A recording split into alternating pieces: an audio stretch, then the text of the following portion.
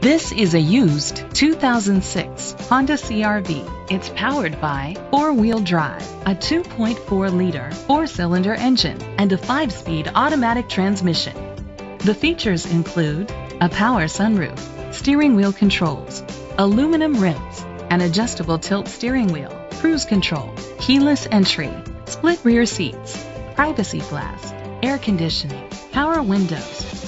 Safety was made a priority with these features. Curtain head airbags, side airbags, independent suspension, brake assist, traction control, stability control, a passenger airbag, front ventilated disc brakes, anti-lock brakes, child safety locks. Let us put you in the driver's seat today. Call or click to contact us.